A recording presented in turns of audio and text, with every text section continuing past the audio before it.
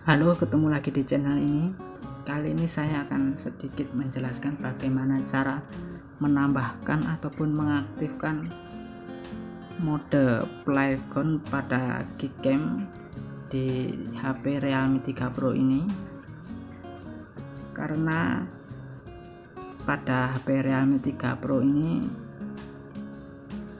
sudah support AR core dari sistemnya jadi kita tinggal menginstalnya lewat Play Store.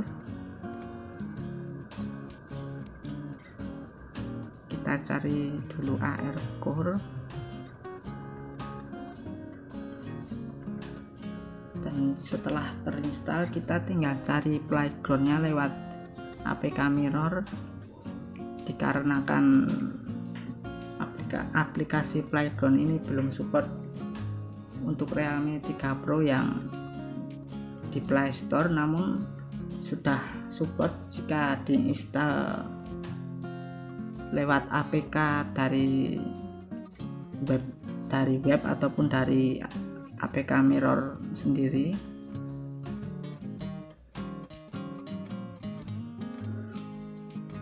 Dan untuk play emojinya pun bisa di download sebagian bisa di download lewat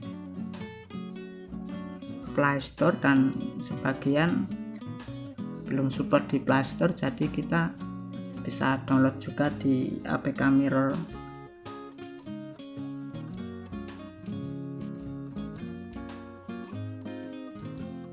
Di sini hanya ada beberapa yang sudah support di Play Store namun beberapa lagi belum support di plaster jadi kita bisa mendownloadnya lewat web APK Mirror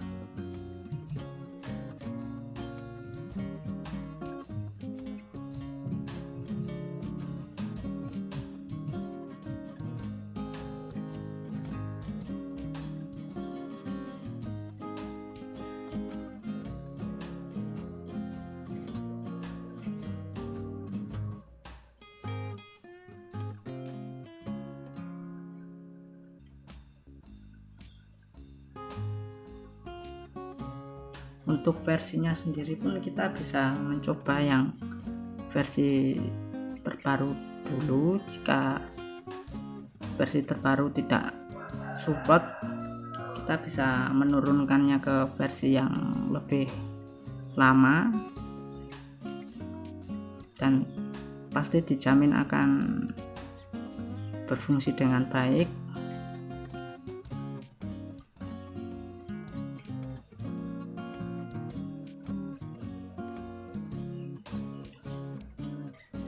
untuk perbedaan antara playground dan AR stikernya itu kalau playground mungkin lebih fiturnya lebih lengkap dan terbaru jika AR stiker itu biasanya versi yang lama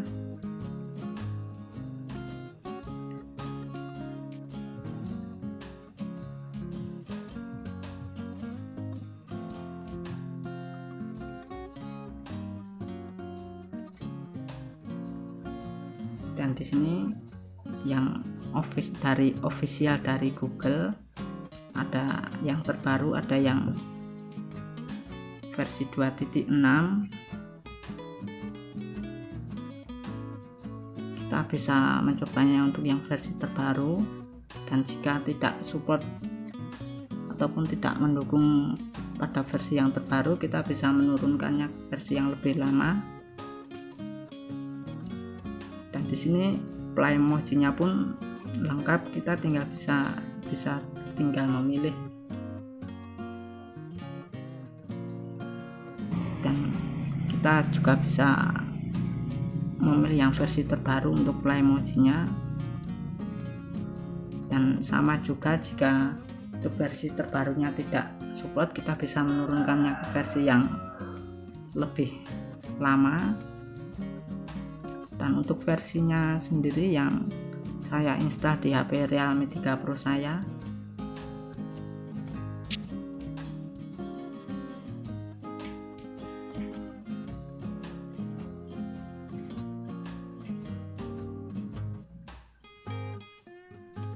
Mungkin kalian bisa mencontoh versi yang saya gunakan. Jika kalian bingung mau memilih versi yang mana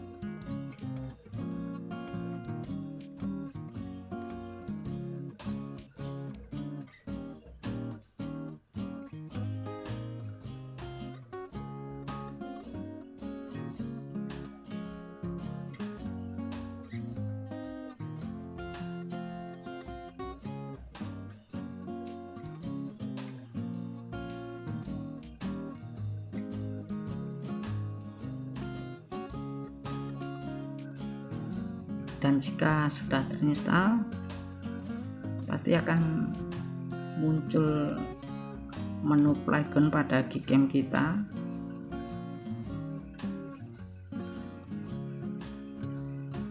Dan mungkin untuk jika untuk pertama kali ketika dijalankan mungkin waktu untuk meload playmojinya pun agak lama jadi kita tinggal menunggunya saja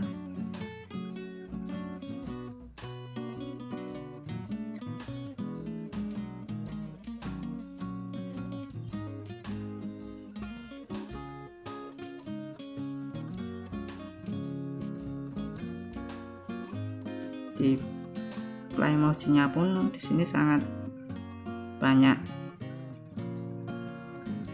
karakternya. Kita tinggal memilih untuk penggunaannya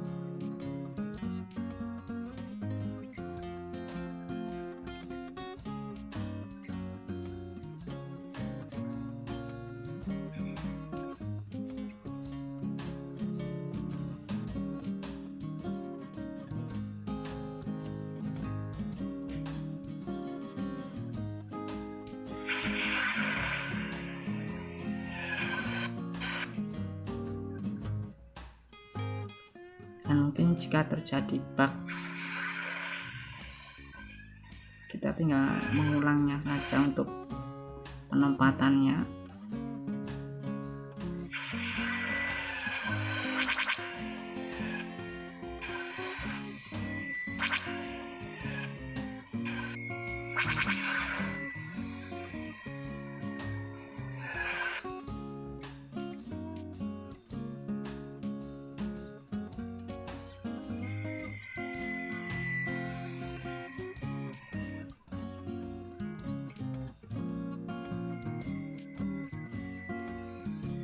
dan kalian pun bisa berkreasi lewat play emojinya.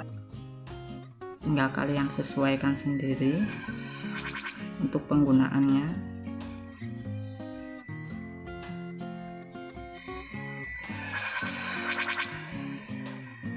Sini pun juga sudah terdapat AR stiker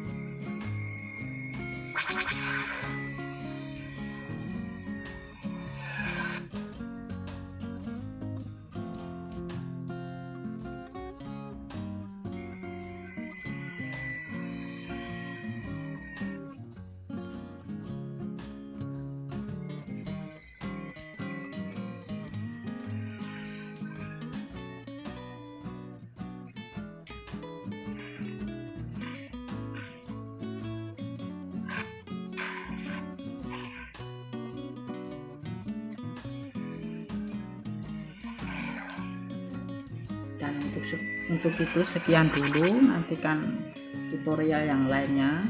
Dan jika ada pertanyaan bisa kalian tulis di kolom komentar. Dan sampai jumpa